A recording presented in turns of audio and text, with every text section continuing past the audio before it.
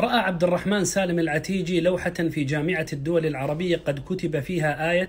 كنتم خير أمة أخرجت للناس فقال لأمين عام جامعة الدول العربية في ذلك الوقت عبد الخالق حسونة نحن العرب لسنا خير أمة أخرجت للناس حتى نعمل بما هو تتمة لهذه الآية تأمرون بالمعروف وتنهون عن المنكر وتؤمنون بالله توفي اليوم المستشار المؤتمن والصندوق الأبيض عبد الرحمن سالم العتيجي رحمه الله والمولود في الكويت في حدود سنة 1928 درس في مدرسة عبد الله عبد اللطيف العثمان ثم درس في المدرسة المباركية ثم لاعتلال صحته ترك الدراسة في حدود سنة 1942 ثم درس في مدرسة خاصة لهاشم البدر الجناعي فتعلم عنده اللغة الإنجليزية حتى أتقنها ثم تعلم عنده الطباعة على الآلة الكاتبة ثم بعد ذلك لازم الأديب الشاعر عبد الله سنان رحمه الله فأخذ عنده مسك الدفاتر وبعض الأمور التجارية. منذ أن كان عمره خمسة عشر عاما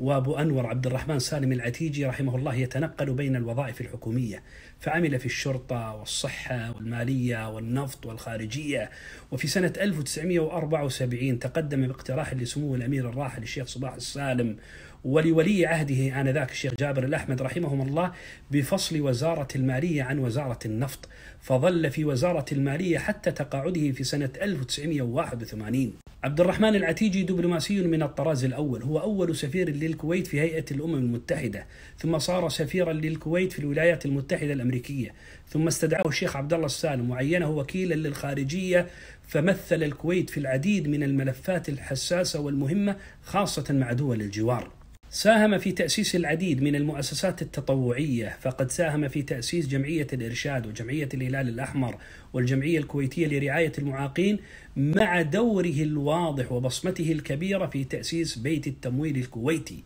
بعد التقاعد الحكومي صار عبد الرحمن سالم العتيجي المستشار الخاص للشيخ جابر رحمهم الله تعالى وقد سئل مرة عن طبيعة علاقته بالشيخ جابر فاعتذر عن الإجابة عن هذا السؤال. هذا فرق بينه وبين من لا يعرف للمسؤولية قدرها ولا سريتها. رحمه الله بأنور